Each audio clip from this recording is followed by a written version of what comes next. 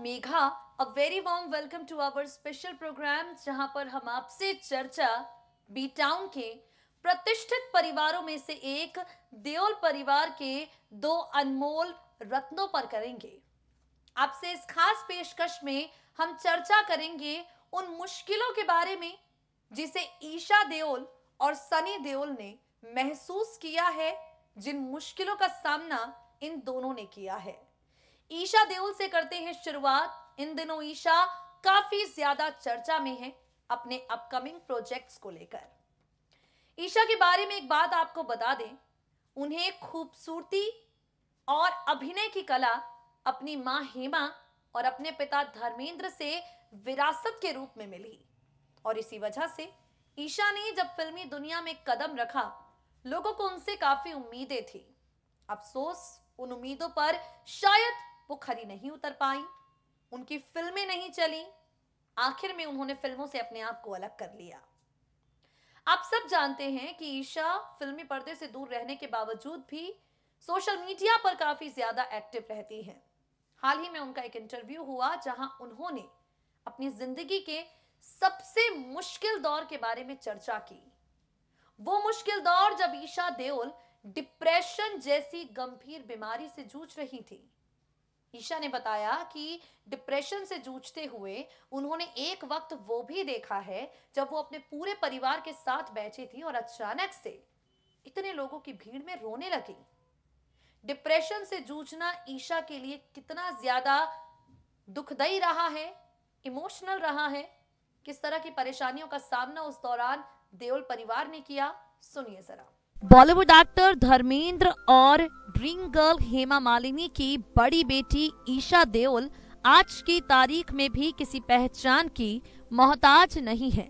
ईशा किसी न किसी वजह से हमेशा चर्चा में रहती हैं और इस खास रिपोर्ट में हम आपको ईशा देओल की ज़िंदगी के सबसे बड़े दर्द के बारे में बताने जा रहे हैं। बता दे आपको, ईशा दो बेटियों की माँ है और दो बार माँ बनने के खूबसूरत एहसास को उन्होंने महसूस किया है। ईशा का डिप्रेशन में चले जाने वाला किस्सा हर जगह चर्चे बटोरता है और एक बार फिर से उन्होंने इसी किस्से पर चर्चा की है। सबसे पहले आपको बता दें, ईशा जो हैं, वो दूसरी बेटी के जन्म के बाद पोस्टमार्टम डिप्रेशन का शिकार हो गई थी। ईशा देओल अपनी बेटी मिराया के जन्म के बाद समझ नहीं पा रही थी कि आखिर उनकी ज़िंदगी में ये सब कुछ हो क्यों रहा है। गौर हो कि बच्चों के जन्म के बाद पोस्टमार्टम डिप्रेशन के द्वारा माँ का कई बार इससे ग्रसित हो जाना आम बात है। पोस्टमार्टम डिप्रेशन काफ़ी खतरनाक हो सकता है अगर इसका इलाज सही समय पर ना किया जाए। अगर सही समय पर ये बीमारी पकड़ में ना आए तो इससे काफ़ी ज़्यादा परेशानियों का सामना करना पड़ सकता है। ईशा भी इस बीमारी की वजह से काफ़ी ज़्यादा परेशान रहने लगी थी। ईशा को भी इस बीमारी की वजह से कई तरह की परेशानियों का सामना करना पड़ता था। ईशा देओल खुद बताती हैं कि पोस्टमार्टम डिप्रेशन का शिकार जब वो हुई, शुरुआत में उन्हें नहीं पता था कि आखिर उनके साथ हो क्या रहा है। शुरुआत में उन्हें नहीं पता था कि आखिर किस तरह की परेशानियों का सामना वो कर रही हैं। ईशा कहती हैं कि बाद में आहिस्ता आहिस्ता उन्हें महसूस हुआ जब वो कहीं पर भी कभी भी रोने लगी। जी हाँ खुद ईशा बताती हैं कि कई बार भीड़ देखकर वो रोने लग जाती थी। भीड़ देखकर उन्हें डर लगने लग जाता था। ये डर उन्हें अंदर ही अंदर खाए जा रहा था। ईशा ने अपने इंटरव्यू में बताया, बेटी, मिराया के जन्म के बाद जब मैं पोस्टमार्टम डिप्रेशन में चली गई, मुझे नहीं पता चल रहा था कि आखिर मेरे साथ हो क्या रहा है। भरी सभा में मैं रोने लगती, चुपचाप सुस्त होकर बैठ जाती। मेरी माँ, हेमा, जो खुद दो बार माँ बनी है, उन्हें एहसास हुआ कि मेरे साथ कुछ तो परेशानी है। मेरी माँ को इस बात का एहसास हुआ कि कुछ तो है जो मुझे अंदर ही अंदर परेशान कर रहा है। जिसके बाद मेरी मम्मी तुरंत मुझे डॉक्टर के पास लेकर गई और डॉक्टर के पास ले जाकर उन्होंने मेरे टेस्ट वगैरह कराए। डॉक्टर्स के साथ मुलाकात करने के बाद मेरी बीमारी के बारे में पता चला। उसके बाद मैंने तुरंत ट्रीटमेंट शुरू कर दिया। समय पर दवाइयाँ खाई और दवाइयाँ खाने के बाद काफ़ी वक्त लगा मुझे अपनी ज़िंदगी में वापस लौटने में। ईशा देओल बता दें आपको, दो बेटियों की माँ है और पोस्टमार्टम डिप्रेशन वाला, उनका ये जो फेस था, वो काफ़ी ज़्यादा डरावना था। आज ईशा इस डिप्रेशन से पूरी तरह उभर चुकी हैं। मिराया और राध्या के साथ अपनी ज़िंदगी को एंजॉय कर रही हैं। ईशा का एक इंटरव्यू सामने आया है, जिसमें उन्होंने बताया है कि कैसे पति और बेटियों को साथ में मैनेज कर रही हैं। ईशा बताती हैं कि ऐसा कई बार होता है जब मुझे काम से शहर के बाहर जाना होता है। भारत को काम से काफ़ी ट्रैवल करना पड़ता है, लेकिन हम दोनों हमेशा इसका ध्यान रखते हैं कि दोनों में से कोई एक बच्चों के पास ज़रूर रहे। एक कपल के तौर पर हमें इसे ऐसे ही बैलेंस करना पड़ता है। ईशा कहती है, मैंने जो किताब लिखी है, अम्मा मिया उसमें मैंने माँ बनने के खूबसूरत एहसास का ज़िक्र किया है। मैंने माँ बनने के बाद फेस की गई परेशानियों के बारे में चर्चा की है। ये सीधे किताब मेरे दिल से आई है। उस वक्त मुझे जो भी महसूस हुआ, उसे मैं शेयर करना चाहती थी। मेरे दिमाग में था कि बहुत सी महिलाएँ भी इससे गुजरी होंगी जिससे मैं गुजरी हूँ। और मैंने मेरे तरीके से इसके रास्ते निकाले। मैं बस उन्हें शेयर करना चाहती थी। मामा मिया करके ये जो किताब लिखी है ईशा ने, इसमें ईशा ने पोस्टमार्टम डिप्रेशन के बारे में बात की है। अपने बच्चियों के बारे में बात करती हुई ईशा कहती हैं, राध्या और मिराया ने मेरी ज़िंदगी बदल दी है, मैं उन्हें पूरा क्रेडिट देना चाहूँगी। अपनी बच्चियों की वजह से मैं पूरी तरह से एक अलग इंसान बन पाई हूँ। मैं अपना काम जारी रखना चाहती हूँ, बच्चियों को पूरा समय देना चाहती हूँ, इसलिए मैं उन्हें अपने साथ शूट पर ले जाऊँगी।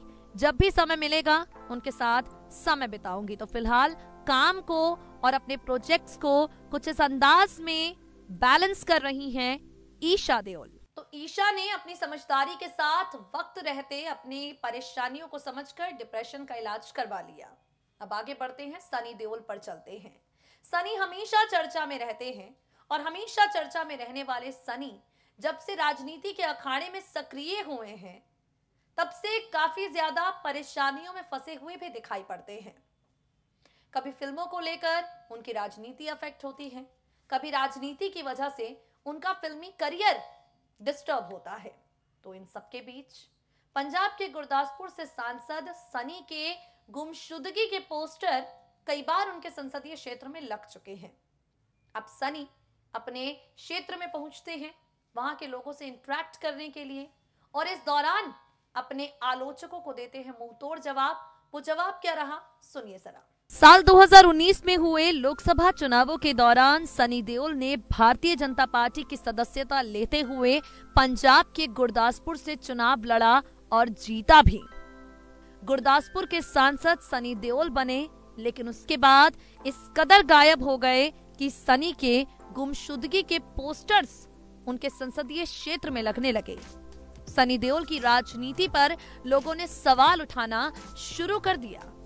सनी, भले ही चार पाँच बार अपने संसदीय क्षेत्र का दौरा कर चुके हों, लेकिन कभी पठानकोट की जनता के साथ बातचीत करने नहीं पहुँचे और इसीलिए अक्सर वहाँ उनकी गुमशुदगी के पोस्टर लगते रहते हैं। विपक्षी दल की ओर से सनी पर यह आरोप लगाया जा चुका है कि उन्हें अपने क्षेत्र की जनता की नहीं, बल्कि अपने फिल्मी करियर की चिंता है। अब एक न एक दिन सनी को इन सब आरोपों पर सफ़ाई तो देनी ही थी। एक न एक दिन सनी देओल को इन सब मुद्दों पर बात तो करनी ही थी। तो सनी ने आखिरकार इस मुद्दे पर बातचीत की है।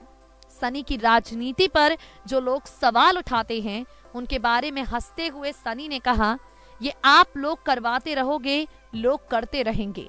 मैं इसके बारे में ज़्यादा कुछ नहीं बोलूँगा। मैं अपना काम करता रहूँगा, जिसको जो कहना है, कहता रहे। सनी देओल को लेकर खबर ये भी आई थी कि जिस तरह से वो अपनी गैर मौजूदगी सत्र के दौरान भी दर्ज कराते हैं, जिस तरह से सत्र के दौरान भी वो हाजिर नहीं होते, प्रधानमंत्री नरेंद्र मोदी भी उनसे खफा हैं। अब सनी ने साफ़ तौर पर कह दिया है कि जिसे जो कहना है वो कहता रहे, मैं अपना काम करता रहूँगा। बता दें आपको, सनी देओल हाल ही में गुरदासपुर पहुँचे और गुरदासपुर पहुंचकर पठानकोट में धन्यवाद रैलियाँ उन्होंने की। पठानकोट की जनता के साथ उन्होंने मुलाकात की। जनता के बीच हालाँकि इस तरह की शिकायत नज़र नहीं आई। सनी जैसे ही अपने कैंप ऑफ़िस पहुँचे, भीड़ उनकी एक झलक पाने के लिए बेताब नज़र आई। सनी ने लोगों को अपना प्यार दिया। लोगों से प्यार के लिए ढेर सारा धन्यवाद कहा। तो फ़िलहाल सनी देओल के साथ जो भी शिकायतें लोगों को हैं वो शिकायतें काफ़ी हद तक यहाँ पर दूर होती हुई नज़र आई हैं। तो दोस्तों, आज के लिए इस खास पेशकश में इतना ही। फिर होगी आपसे मुलाकात। दे दीजिए मुझे इजाज़त। नमस्कार।